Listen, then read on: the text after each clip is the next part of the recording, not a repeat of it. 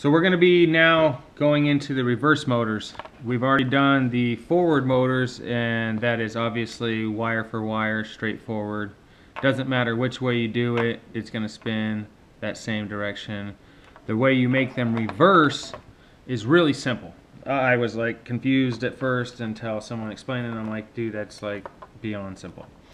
All you have to do is literally switch two of these wires to make it go reverse. So all I have to do literally is switch those two or those two. I just got to cross two of the three that are coming out here with each other and that will make the motor spin in the opposite direction.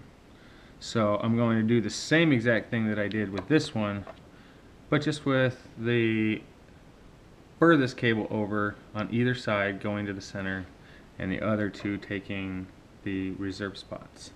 Um, so obviously if this one isn't being crossed over it's going to just continue going to its spot. This one's going to go to its furthest spot and the outside's going to go to the middle. Really simple. I thought it was so much more difficult than that then until I watched a video. So I decided to make my own because I'm really good at soldering and I'm really good at making these things simple and quick. Nobody wants to watch a stupid 20 frickin' minute video on how to solder and how to BS your way through something. God, man, just get it over with. I haven't got time to watch your videos. So, in my videos, I try to cut to the chase. So we're just going to just jump down to it. I am trimming off the shrink tube right now as we speak. I want to expose those wires at their junctions because they're really simple to get off. It's just a easy solder joint. You can tell that they simply just dabbed a wire onto it and called it good from the factory. So I trim it back, heat it up, pull off. Heat it up, pull off. Heat it up, pull off. Boom. That quick, okay? We don't need to church around this crap. So we're gonna line up the video here. Okay. And this time, I'm not going to go a quarter inch back. I'm going to go a little shorter, but I'm going to snip the center one to the length I want it. And then the other two are going to be a little bit more length.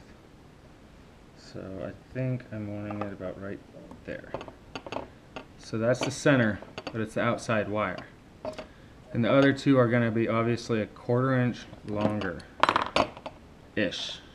I always say ish because I don't exactly use a measuring tape, but if I would guess, it's an eighth inch to a quarter inch.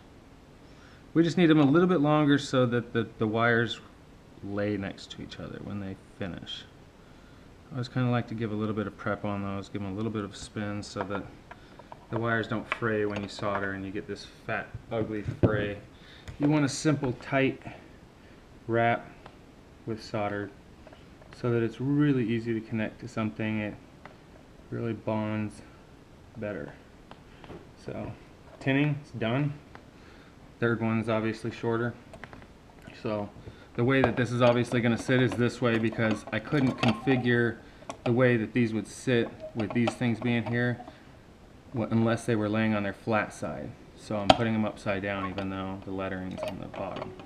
So obviously it's going to be like this, so I'm going to flip them. Super easy. I'm going to hold it down with something.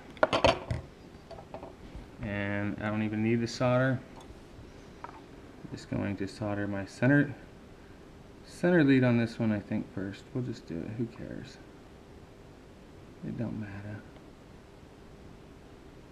So just find the sweet spot. Okay.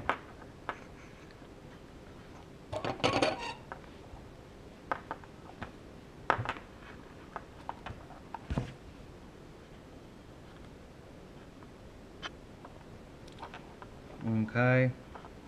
So those two are switched. And then we're going to bring in our third one to its corner. Go to your home. Your home needs you. So, that's it. Super easy done. Your wires are tight and right. And that's the way we like it tonight. Just kidding. But thanks for watching. That's easy way soldering your board to your thing. Now you have slack just in case you know something goes wrong. You can still cut it and you still have play here. If you would have done it the other way and cut these all short right here and done it this way, you'd have no extra wires to play with. So keep it long, keep it strong. Have a good day.